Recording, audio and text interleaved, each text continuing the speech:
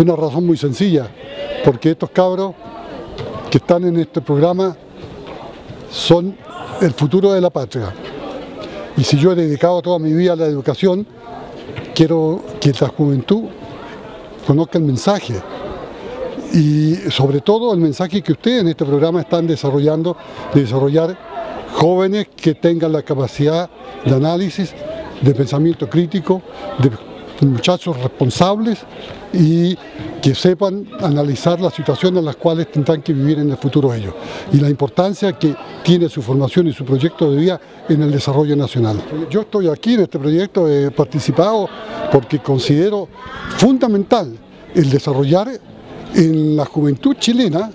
las condiciones para que puedan desarrollarse los científicos que este país necesita para el desarrollo futuro,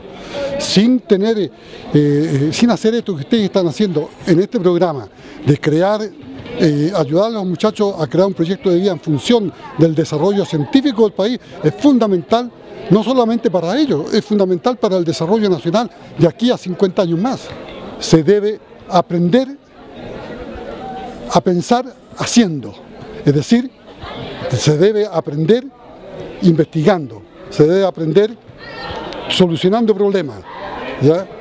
en la realidad concreta, hacer de cada alumno, de cada escuela, un laboratorio de investigación y experimentación pedagógica permanente. Los educadores de la escuela del futuro tienen que ser escuelas laboratorio y no escuelas auditorio. Cambiar fundamentalmente la metodología de trabajo en las escuelas